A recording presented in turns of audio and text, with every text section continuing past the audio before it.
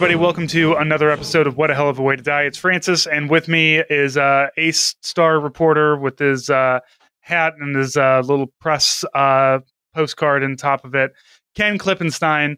Ken, it's been a minute, man. How how have you been? Hey, I'm doing pretty well. Excited to do some uh, informing of the public, some journalism here. Yeah, uh, something that you're that, that you're that you're pretty good at, uh, as it turns out. I really, uh, I, I I enjoy the fact that I can read things that uh, you know we don't you know you don't see a whole lot of mainstream kind of stuff going on uh, about.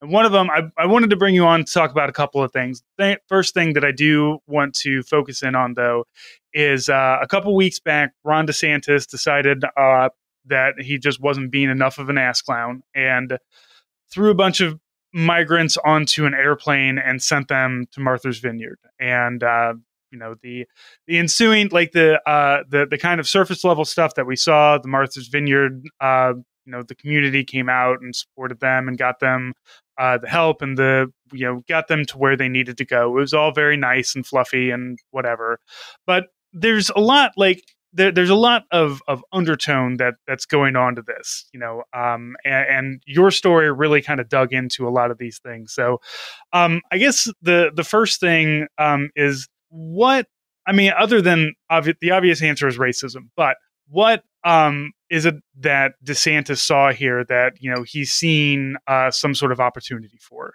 Like, what's his goals here? Uh, well, I'm speculating, but I I imagine the response was what he wanted, which was um, you know outrage from anyone who's not um, going to vote for the Republicans, and I think that that's probably gratifying to uh, the base that he has to rely on and increasingly like peel off from from Trump in order to um, win the presidential primary.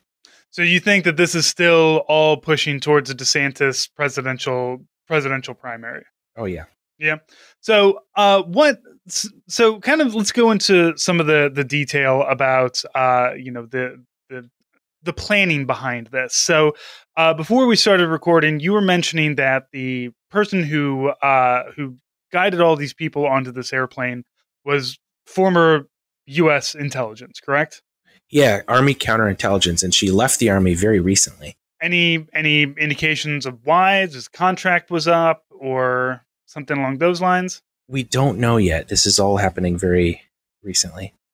And so, what was you know? I, I get what was the um the, the tactics that she used to get these people onto this airplane?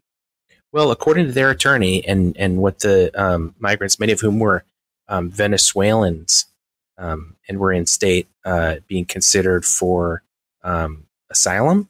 So uh, a lot of the discourse around it was these illegals, so on and so forth. And it's like actually not true. You're allowed to stay in country until um, there's a t- determination made as to um, the the asylum request.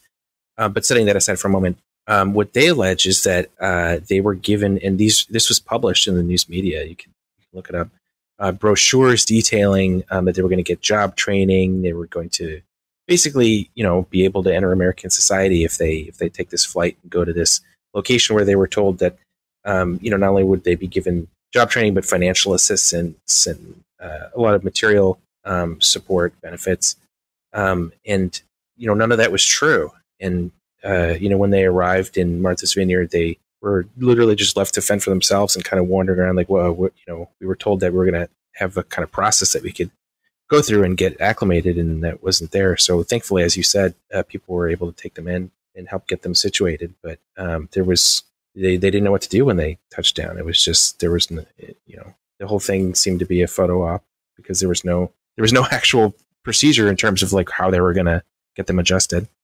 And how how exactly like they land? You know, you land in an airport you don't know anybody there. You're just you know 50 ish migrants coming off of an airplane.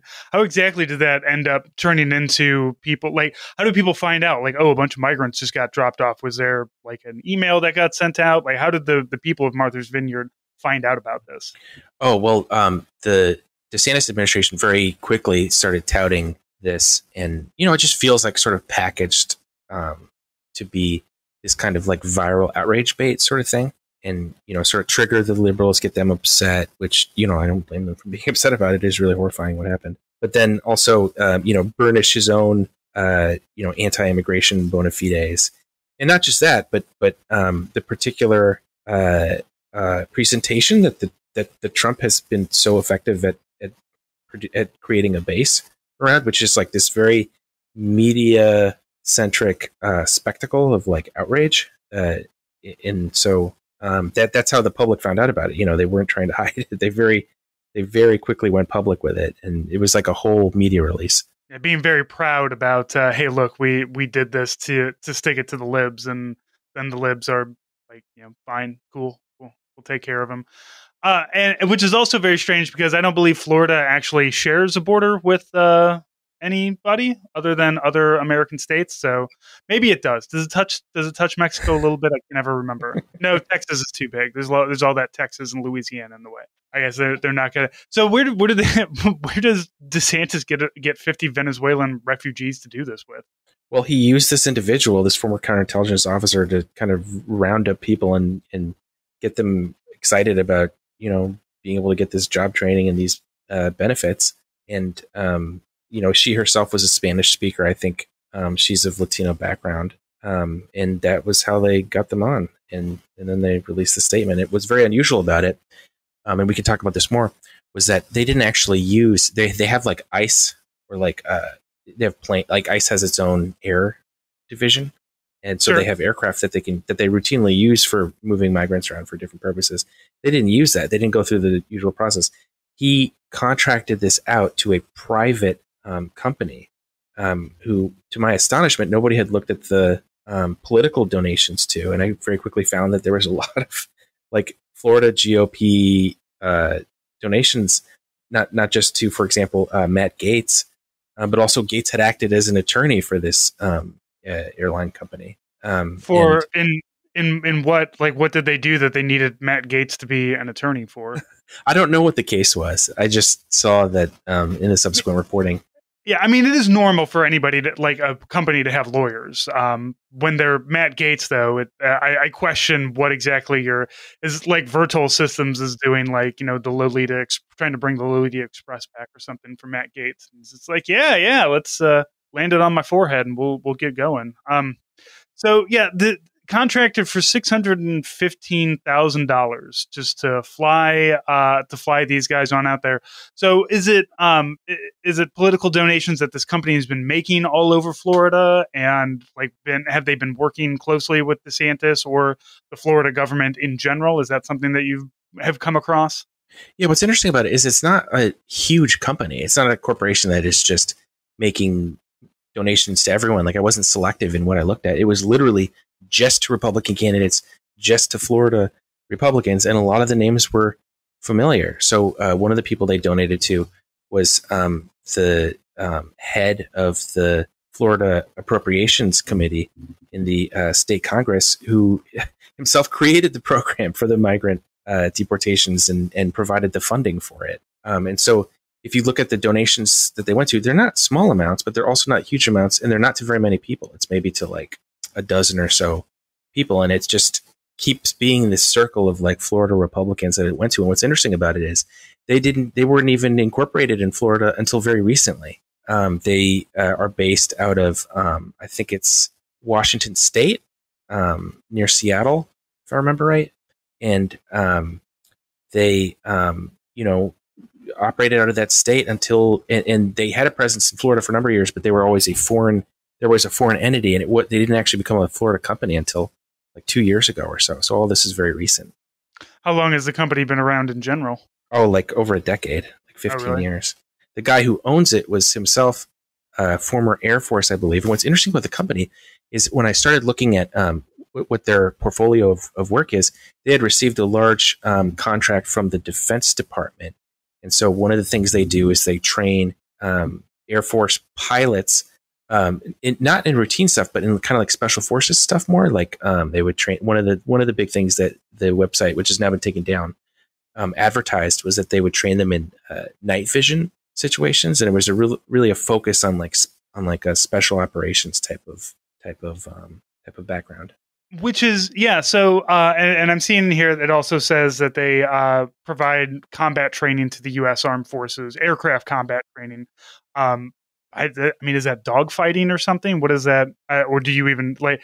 It's it's just very strange because I don't know what this company does. Still, like there are there are people with airplanes or are they people with airplane simulators? Uh, obviously, they have one airplane that they you know flew a bunch of migrants to, to Martha's Vineyard. But if you're saying I'm going to provide you know aircraft combat training, I would imagine that you have something that can dogfight a little bit, or uh, or is this just you know a glorified uh, Microsoft flight simulator? We may never know. Uh, they took their website down, so how are we going to know?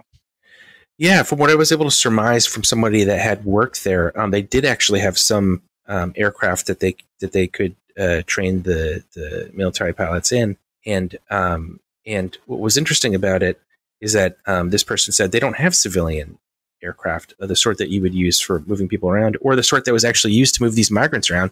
And so I asked, well, you know, who was the aircraft then? Because there were photos of it.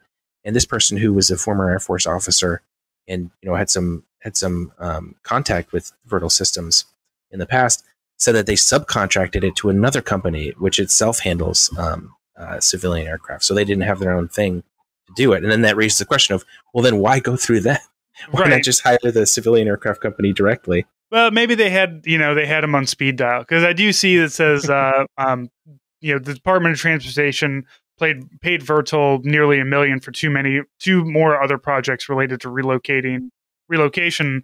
So, uh, and and does I mean, as you said earlier, ICE has airplanes. They can do this themselves if they need to.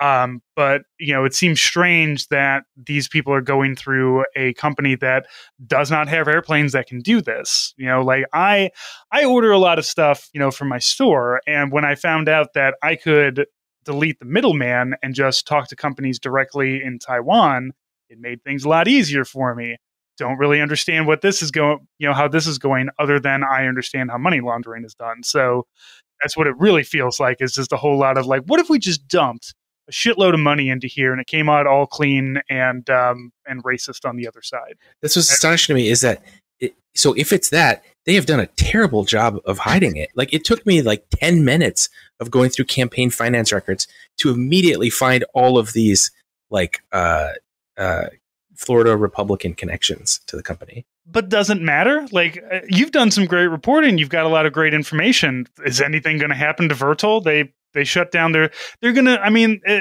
at at the worst, what it's going to happen is they're going to pull a Blackwater and they're just going to rename themselves and pop up again and say, look, now we now we do have like a. Uh, they're going to get like a couple of decommissioned Supermax uh, 747 Supermaxes and uh, hope they don't slam them into the ground or something. I mean, I think you're right. Like nothing's going to happen, you know, criminally, but um, in the context of a, um, you know, a presidential primary, uh, you know, if people, if the Democrats end up conducting an investigation, as the state Democrats um, have suggested they want to do, you know, this could end up generating. Uh, I mean, who knows how far something like this goes in terms of uh, the political connections and, and and what sort of uh, fodder you can make of that. But yeah, I, I generally agree. Um, I've, I've, one can never go wrong uh, betting on nothing happening. Yeah, um, it seems to be the the thing that that's always a sure bet in America is uh, some rich guy's going to get away with it. yeah, after a very protracted, um, uh, you know, uh, inquiry that finds so much detail, and we're just sitting there, just mind-boggling. Evidence. Yeah, one guy, one guy doing some googling. It's like, oh shit, you guys are uh, breaking the law. That's what's so crazy. Yeah, like I'd like to be this great gumshoe reporter, but the truth is, finding this stuff took me like 15 minutes. It didn't take any work. It's just no one had done it. Yeah, and it's knowing where to go. I wouldn't know where to, to look for. Oh, these oh, that's things, true. But yeah, yeah. You see, you you've. I mean, that's why you're the king, the FOIA king. You know, uh, you you know where to go to uh, extract this information. Now, we're not going to do anything with the information other than tweet and uh, be really mad online, but we do have the information at least so that later on like you know in 60 to 70 years when our grandchildren are reading about you know these times much like when we read about nazi germany and you're just like it was all there why did they let it happen I don't know. We were too busy posting. I don't know. I don't know what everybody else's excuses were, but uh, I had I had to post the pig pooping on its own balls again. So I got. I love the I love the I love the highfalutin expressions they have to rationalize the inaction. It's I'm bearing witness Am bearing witness to the struggle. Doesn't that mean something? It's like, no, it doesn't. If it doesn't lead to anything. posting is posting is not praxis except for when it is. But uh, when when you're when you're bearing witness, you're just like uh, it. It just that always just feels like I need to uh, I, I need to flog myself. Like when when the Ukraine oh, totally. or when the Ukraine war started up, and people are like, I watch every video that I can watch about combat in Ukraine because obviously I'm combat veteran. These things are interesting. Watching, you know, how the Russians suck and how good the Ukrainians are, and you know, learning about how things are changing and the scape war scapes and everything and then you have like somebody who's just like i have to watch all these like massacre videos uh to uh to bear witness like back in my day ken we were just watching beheading uh videos because we were fucked up in the head we were honest about it at least no, you got to raise you got to raise awareness. That's the other one. My, my other favorite. Yeah, by once again by posting online. Uh, that's why I have a podcast. Uh, this is this is the closest to praxis as I get. That and donating money sometimes. Uh, that's that's about as uh, close as I get to it. All right. So, um, what's what's the future plans here? Like, is Santa's going to keep? we, he's he got away with it once. Is there going to you know? I, I feel like if this was more um, I don't know how to say it, but successful in the eyes of DeSantis, uh, we would be seeing more of this. We'd be seeing more of uh, Greg Abbott doing something like this, you know, dropping him off in Providence, Rhode, Rhode Island, or something. Which I, I don't know. Maybe that you know, hey, it's that let's let's spread them around. You know, uh, St. Louis is home to sixty thousand Bosnians. Let's you know start bringing some more people back in. What what is the plan going forward? Well, what's interesting, as you said before, there are two more contracts listed um, I think with that with that company for migrant deportation. And the other two cases, I think uh, one of them was supposed to happen and hasn't yet. It's kind of interesting because they sort of distanced themselves from it. Maybe they'll end up um, still doing it. They were going to ship people. I think the contract, one of them was for moving someone to Delaware, which of course is where the president, President Biden is, is from. So I think it's supposed to. I think the idea might be, um, drop, drop oh, we're going to own uh, them, but yeah, we're, we're gonna, right. Yeah, they're gonna send him to uh, to Biden's house, and the dog's gonna attack him. Yeah, but I wonder I, if he got. Yeah, yeah, right. I hope the dog's doing major. okay. Yeah, after after biting like multiple Secret Service agents, um, you know the the the best dog ever to be in the White House, um, in my opinion. um, wait, it, it what's interesting? I think he might have bitten off more than he could chew because, um, not just. I mean, I think the public outrage that must have been anticipated in part of the deal but um, one feature of it that I don't think they expected was that um, a, a, a, Texas sheriff opened a criminal investigation into it because um, actually these migrants weren't even in Florida. They were moved, I believe, from Texas to Florida to um, Martha's Vineyard. And so, um, in the context, uh, there's some federal law that prohibits you from um, doing that it, from another state. It's sort of complicated to get into legalese. But um, it, the fact that a Texas sheriff opened a criminal investigation, I can't imagine that's something that they're uh, either anticipated or are excited about. So I guess we'll see. Yeah, it sounds like it's just dicked up on all kinds of levels. Right. Ken, let's uh, let's let's shift focus a little bit. Um, I want to talk. Uh, we're going to move away from military stuff. I want to talk about inflation because um, I don't really understand a whole lot of uh, some of the stuff that's been coming out about inflation. Like I understand you've got this article, um, Iron Mountain, this data you know CEO of Iron Mountain, which is very funny because I used to I used to be in a building with Iron, uh, Iron Mountain once upon a time when I had to go into an office. But the CEO saying that inflation is great for the bottom line, I understand where that comes from, but I do also remember uh, a lot of reporting about saying that we have to like raise the unemployment level to lower inflation. Um, what fucked up math is that, Ken?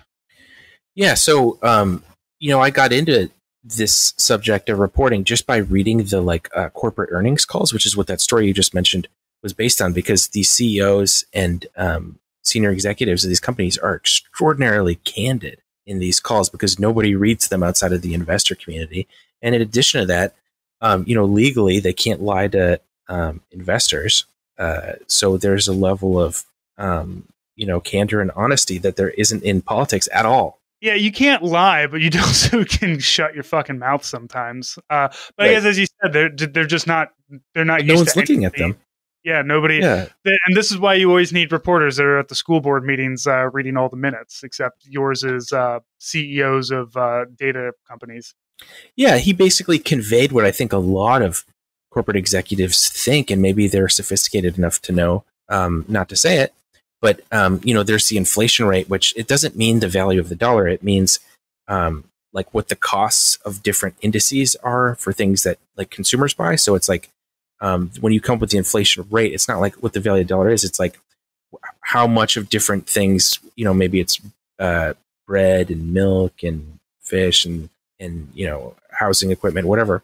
And then they come up with this number to give you a sense of how it's increased. But what that doesn't tell you is how much um, those prices have increased as a consequence of the actual costs increasing associated with the production of those goods versus just corporations taking advantage of uh, whatever the uh, economic environment is and jacking them up just to make more profit. And often those two go together. So if input costs rise, then of course you know they have to um, increase the the price of the goods to continue to make profit. But at the same time, they can try to sneak in an increase that isn't really warranted, but just because they can say, "Hey, look, everything's going up. We had to do it. What do you want from us?" Mm-hmm.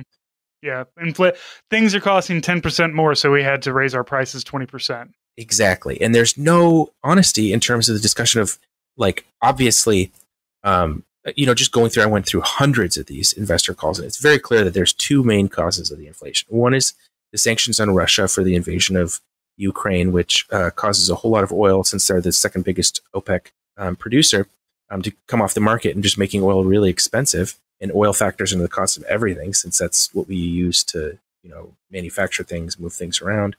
Um, and then the second one is supply chain problems. Um, a lot of that coming from uh, China's really aggressive um, COVID uh, uh, mandates that make it so that you know entire factories are shutting down, and that that gums up supply uh, chains. So it's mostly those two things. And uh, what's interesting is if you look at the kind of mainstream discourse around this, it said that, oh, um, you know, the employment market is too tight. They use these wonderful euphemisms that uh, when you interrogate what they mean, it's kind of a polite way of saying, you'll see that everywhere from Larry Summers to former, um, uh, you know, big economic guy under uh, Obama to, to, you know, Jamie Dimon, so on and so forth.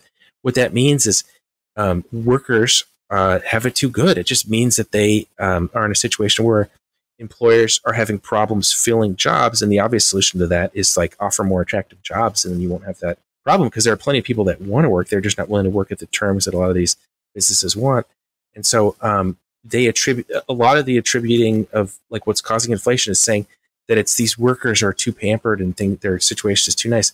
The, the labor market is too tight. If we loosen the labor market, which is a euphemism for just make things worse for them so that they're more desperate and that they're willing to take whatever job there is, then that'll fight inflation. But inside the corporate calls with investors, that's not what they're saying at all. They know that that's not what's driving the inflation. They know that it's overwhelmingly those two other features I was telling you about um, before. So that disjunct between what you see in um, CNBC and cable uh, business discussion versus just what the CEOs are actually saying among themselves is is a night and day difference. Yeah, I'm I'm seeing just the uh, the argument that's in here. It says inflation historically had an inverse relationship with employment. Um, when inflation rises, unemployment drops. Uh, higher unemployment leads to um, low in, lower inflation. It says when more people are working, they have the power to spend, which leads to an increase in demand, which still doesn't make sense uh, unless like, like, it does. I'm sure it contributes to inflation a little, but it's like pales in comparison to the right. to the Russia oil and the supply chain problems. Sure, and also just CEOs saying, "Well, fuck it, you know, everything went up ten percent. We're going to go up twenty percent." Right. Exactly. Yeah, and this is and and a lot of this, it always seemed like the uh, forcing. I don't even know how you force unemployment up, other than giving because like all these companies, everywhere I go, still there's still we're hiring fill out an application you know uh, mcdonald's is offering you know $17 an hour uh, for managers. There's a lot of like really great opportunities out there for people to work. But if people if we boost unemployment back up to 5%, our labor market's going to get even worse than it currently is because, you know, we're still losing 3,000 people a week to to COVID and we lost a million people to co- a million plus really, you know, the official numbers uh, are a million. I'm sure it's much higher than that. So it just doesn't really make sense that at the end of the day the idea is we need more people out of the labor market and more of these companies to struggle and uh, and and you know for it to suck because I I remember look look I've gone to um you know a few McDonald's when there were some uh, um you know, there's only two people working, and it sucks. It sucks for them. I hate it for them. I hate that during the lunch. But usually, people are pretty, you know, they're like, okay, we're we under we're understanding. But like to say that that that the situation out here needs to get worse, not only for the worker but the consumers too, for inflation to go down. Is just like, look, guys, everything is too nice for you, and you're going to need to suck some shit for th- for me to to have a better uh, a, a better day.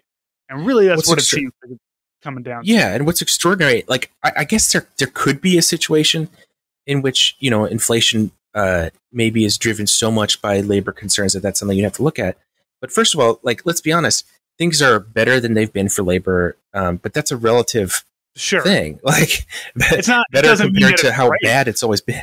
Yeah, and then the other the other factor in all this is that corporations are literally making more profit than they've made in like 80 years. They're they are smashing all the records for corporate profit. So the thing is, if the costs are just so high and there's nothing we can do about it, then why are they making money hand over fist? You think that would be reflected in their earnings and that they'd make more modest earnings? But the fact that they're swimming in money and at the same time saying, "Oh, you know, no one wants to take our jobs," well, the obvious solution is, you know, put some of that money into making the jobs more attractive, and you won't have that problem. But they don't seem willing to do that, and so um, you know, the the kind of economic establishment seems to be turning to okay, you know, corporations aren't going to, um, you know, just make jobs more attractive to solve this. So here's another way we could do it: we could just smash employment, bring up unemployment, and then people will get desperate enough that they'll start taking and filling those jobs. And I, I mean, I think that will probably work in terms of getting people to take the jobs. But the, the, the medicine is worse than the disease then you know? Right and then again you're you're boosting your uh you're you're lowering lowering unemployment so everybody's going to start going back to uh well we've got to you know go back we're, going to have inflation again. And of course you know the big thing is things are so nice and that's why the military is having such a problem uh with you know maintaining or recruiting people. I mean yes also uh, we did recently get out of a really long stupid war that nobody should have gone to so uh, it's very understanding that Gen Z is saying, uh, no, thank you. I don't want to do that again. Um, but at the same time, you know, people join the military during bad ec- bad economics because the military is a place where you get a paycheck um, every two weeks. It, it always shows up, uh, barring government shutdowns, but you always get your back pay. Uh, you get 30 days paid vacation from day one. You know, it's a great it's a great deal. Um, there's sometimes you got to go do a war. Um, sometimes maybe that war is not justified. But it's a good. Yeah, it's interesting you bring up the military parallel because we've had a number of Republican politicians just publicly say, um, you know, recruitment is suffering because the employment market is good. We have to do something about that. Have you seen these statements where they say we need to have student debt to, like, or else we're not going to be able to recruit any kids? They just openly say it, which is shocking to me. Right. And and it's very easy, you know, just like any anything uh any other time that somebody starts saying, well, you look at America and you see how things are here and we have to make these changes. We have to make things worse so that we can have more people in the military. And then you look at like literally any other country. Um like Germany, I don't think is having a military recruitment problem. Maybe if the United States did not feel the need to project power to half of the countries in uh, in the known world, maybe we wouldn't need so many troops. But again, you know, we're we're no longer um, we're we're no longer sending people out. We're not really doing massive deployments, so we don't really need the numbers, I would think. But I'm not in charge of those budgets, unfortunately. Um, every time every time uh, people complain about the runaway military budget, while I was actually in the reserves, there's a lot of us saying like, okay, yes, we did just get $750 billion. But when I say us, I don't mean this army unit. You do not, we do not have money to send you to sergeant school. Are you, are you telling me that the people that work in the Amazon fulfillment centers don't have the same interests as Jeff Bezos? It's crazy, uh, you know, and and that's always been, you know, it, uh, you know, much much like as, as, you were talking about, making the lives better for the workers always seems to, you know, make it makes everybody happy. It makes you it makes a happier worker that stays around longer. My my regular nine to five job is great. I love it. I love the people I work with. I love the management team. Um, you know, it's it's great, and everybody should uh, should have you know, something like that. And if somebody came to me and was like, hey, we'll give you like a $15,000 raise if you start coming into this office, I'd tell them no. Why? I'm loyal. I got a nice job. I got a nice gig. I stay at home. It's fantastic. I love it. Um, the military is the same way. You know, you got to make a environment that people want to stay in. And when your environment is just garbage, uh, nobody's nobody's going to stick around. So yeah, that's a really good point. I interviewed a um, economist, J.W. Mason, who said that um, just looking at the tight labor market and, and saying, oh, it's tighter than it was before, therefore that's a problem, it, it sort of assumes that it was good before. So he made a very interesting point. He said that um, if the labor market remains tight, that's going to incentivize business to make to to focus on retention as opposed to the insane churn and burn economy that we have where no one's expected to last somewhere more than a couple years and then move on to the next thing. He says, you know, yes, things are tighter, but it's like th- like that's not necessarily a bad thing. That means then they actually have to worry about keeping someone around for a while. And like, is it the worst thing that businesses have to actually think about these questions of how do we get people instead of just being able to count on uh, people's desperation driving them to take whatever? And I, th- I think he's right. I mean, I think it's just so foreign to to the way our economic system has been structured throughout you know all of my life um, that that that workers would ever have any kind of small amount of leverage that people are looking and thinking, wow, this is really strange. We've never seen this before. It must be bad, but I don't think it necessarily is bad. Yeah, it it always it also always seems that like CEOs and management have this like allergic reaction to, you know, spending just giving somebody money. Like when when somebody says, you know, oh, uh, you just want to let people out of prison and give them free money to live somewhere. It's like per person, you know, to be incarcerated is like a hundred thousand dollars. Like financially, it makes more sense to say, hey, instead of prison, why don't we do something where we give you housing and a job? And you know, I don't. I'm not. I'm. I'm not giving you every idea, but I am just saying that a hundred thousand dollars is a lot of money to keep somebody incarcerated in prison for various reasons. You know, violent offenders, sure, but drug dealers, come on, guys, give them something a little bit better. And the same thing comes with you know, uh, w- with what you know companies are going to do with this money you know it's like you could you know like oh we're to you know we're to dump a bunch of money into making a really great break room for you guys like cool you're just trying to incentivize me to stay here more often like if you just gave me more if you took that million dollars you're going to take do do that with and you went to like your 50 employees and you said hey we're just going to like disperse this million dollars among the rest among you guys. Is everybody happy? They're all going to give you a thumbs up because that's a really good bonus. So you know it's it, the the direct money to somebody is just like and you know i'm sure it all comes back to our weird american protestant work ethic of you know nobody gets nobody gets a dollar if they don't earn it which you know i think that living in america itself is a full-time job so you might as well get paid for it yeah it's an interesting point. And um, what this reminds me of is uh, there's always this assumption that that you know businesses are profit seeking and everything. And it's there's like obviously that's a huge component of it but there are other considerations too. There are power considerations. Um, you know if they even if giving workers more resources and giving them a better situation is rational in terms of you know productivity and profit um, that, that there are questions of um, power that that that i think often take precedence over concerns about that. So, for example, when the Federal Reserve is increasing interest rates, which is known to have the effect of causing recessions, causing unemployment to rise, um, you know, you might look at that and say, "Oh, it's actually hurting their bottom line." Because look at the stock market; it's suffering. It's going to create problems from. That's true, but that's not their only concern in life. Um, another story that I did, uh, looking at an earnings call, had a CEO say, um, "You know, there are problems associated with recession that would hurt us, but it would be good in the sense that it would put quote um, employers back in the driver's seat." Uh, and an example he gave for that was, you know, people are people are so uppity now about wanting remote work after COVID and realizing you can mostly do your job remotely. Why do I need to come in every day?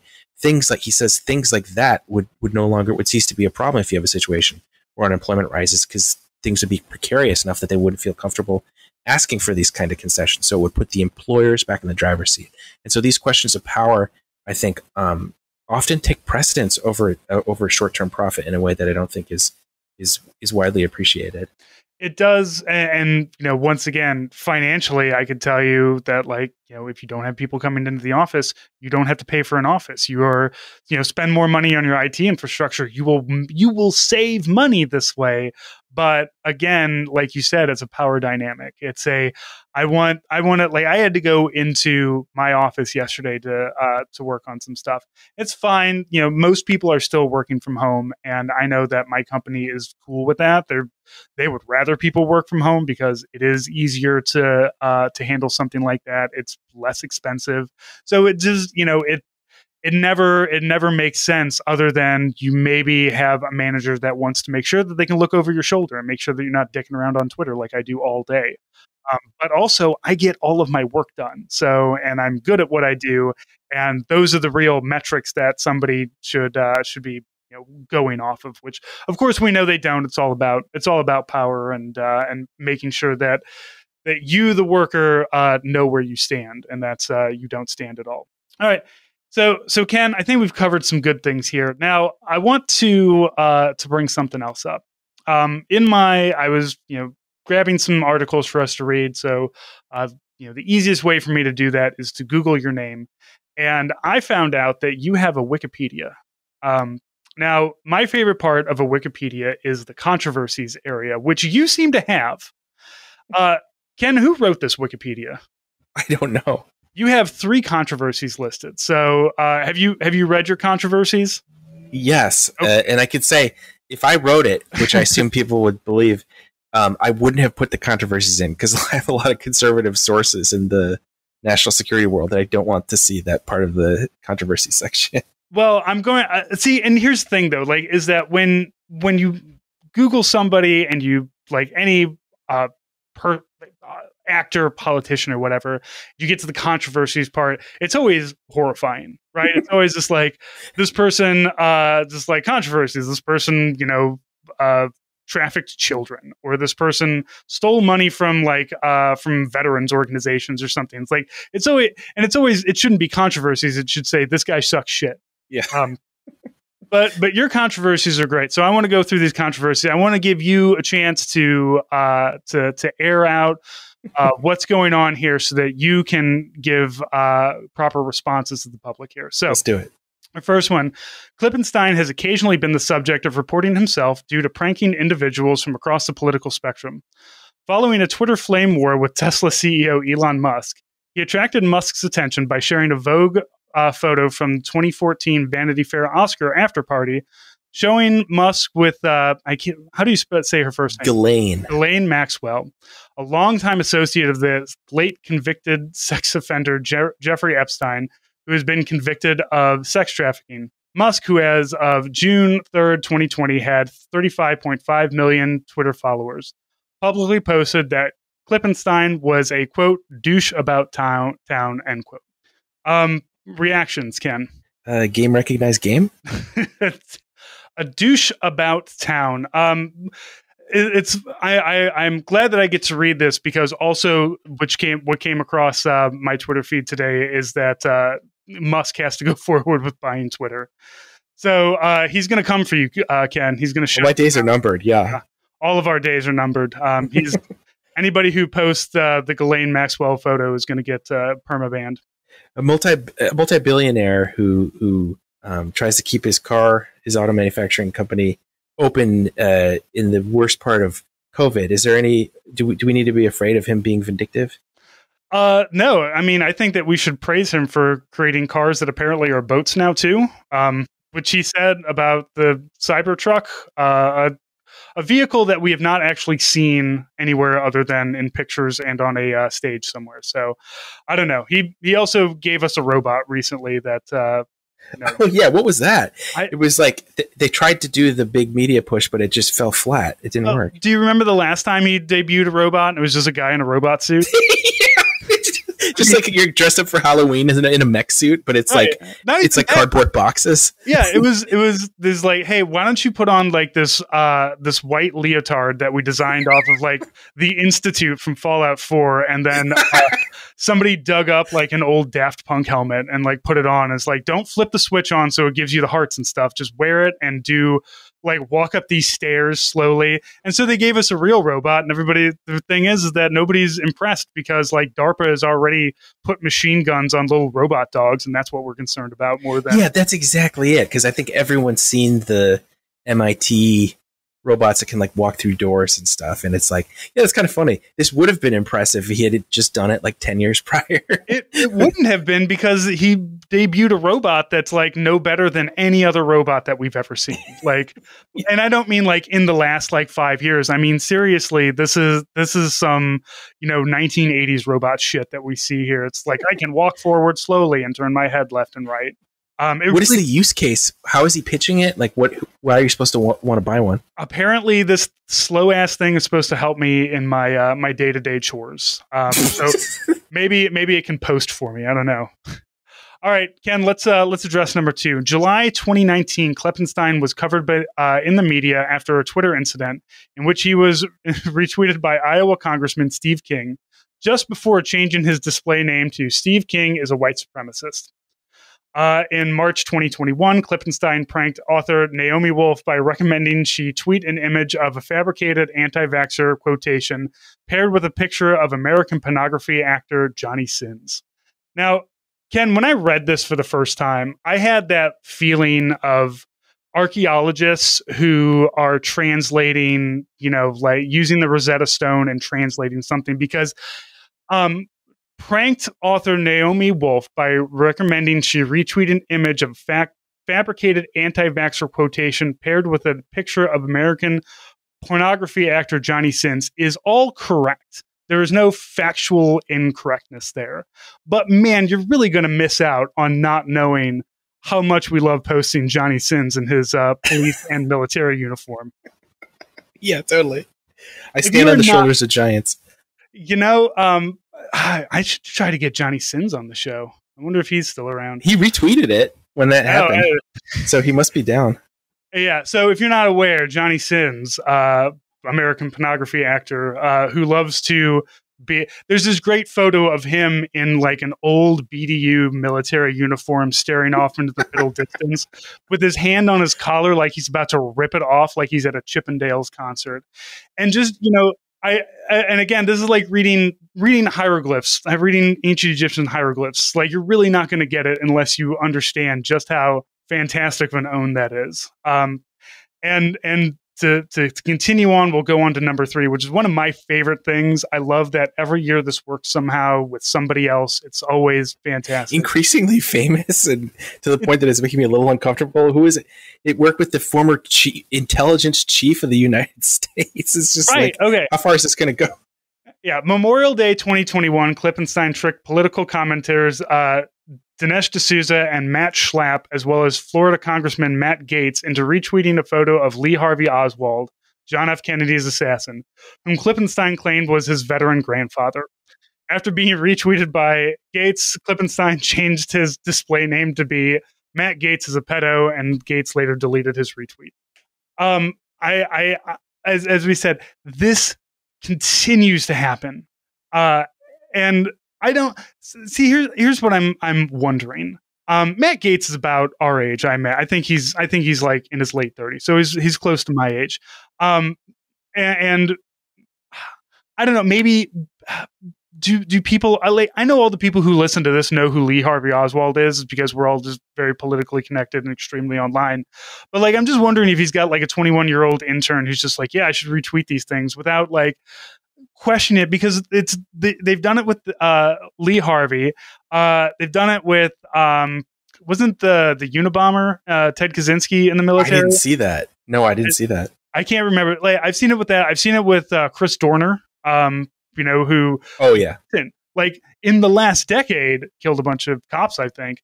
Um, it consistently works. So uh, I and and I am I am a huge fan of constantly doing this uh, of of of say because you know it's it's always performative. Obviously most of these people don't give a shit about the military. If you just look at their that's exactly it is it, it's not so much that they are um, gullible as that they are desperate to project an image of that they care about the military and that's why it works because they're desperately trolling twitter for an opportunity to look like they give a shit about the the um, armed services uh, folks, and and it's so telling. There, it's like a, it's almost like projection. They're showing that they know how deficient they are in that. That they have to compensate by posting about these things. That's why they fall for it. Yeah, and I and I wonder how much longer this is going to work because they're they're now that we're no longer engaged in you know a a, a long term you know military uh, campaign as we were in Afghanistan. You know, obviously the military because we're all you know the army's all woke now by saying that you shouldn't sexually harass women um, and you should get your vaccines that you've been getting for the last you know decade that you've been in. So we're all woke now, and I don't think that they. Uh, you know, I'm I'm not too sure if they're going to continue on with how great the military is, uh, unless unless they get really into it. Just like, yeah, I really do love. Actually, I love Lee Harvey Oswald. I think he should have shot more presidents. Nobody take that out of out of context here and post it somewhere. Um, yeah, I try. I try when I do these things. I try not to cheap shot people in the sense that I try to make it something that is really easy to tell what's going on. Like I'm not going to pick some obscure person that that you know like only a only only real heads know. Like I'm trying to make it like, and especially I I try to make the the punishment fit the crime in the sense of I try to find these people that wrap themselves in the flag and are always talking about how they understand real America and I'm an actual American, and then give them these examples. Like so, you said Lee Harvey Oswald or or um, another one I did was um, that iconic scene in A Few Good Men where it's um, Jack Nicholson saying, um, "You can't handle the truth." I try to pick these things that are supposed to be um, something that someone who says, like, you know, I'm as American as apple pie would would understand and recognize, and it's just they whiff every time. I can't. It's it's unbelievable. I'm I'm surprised every time when it happens. Look, Ken, um, Lee Harvey Oswald spoke truth to power with um, an Italian Carcano. Um, Nobody, nobody take that out of context either, please. Uh, Ken, I, I, appreciate you you coming clean about these controversies. Uh, these controversies of uh, how much you have dogged me for years, but yeah, um, you con- controversially uh, owned people online. Uh, this was like Frost Nixon, where you got me to to issue a mea culpa. And yeah, and I'm going to start. I'm, I'm going to pay closer attention to your Twitter feed so I can add to the controversies part here. I can you know just keep adding on to it. Just the the crimes of Ken Klippenstein. Uh, he made Sarah Palin uh, retweet Ted Kaczynski or something. I've got got to go on the list now. Well, Ken, I appreciate you coming on, man. I love uh, I love talking about this stuff. I want to bring you on more often to uh, to talk about your your reporting, your writing, and all the things that you come across. Uh, and you know, uh, if you have anything uh, for for Ken, Ken, how can people contact you? Uh, yeah, if you work for the federal government, military, whatever, um, I cover a lot of national security stuff. You can reach me on Signal at 202 510 1268. Yep. And uh, well, you can also find Ken on Twitter at Ken Ken Klippenstein. Uh, I'm always I'm I'm always uh, uh, tempted to do the like the Berenstein and Berenstain. Is it Ken, Ken Klippenstein? Yeah, it's not Ken Klippenstein.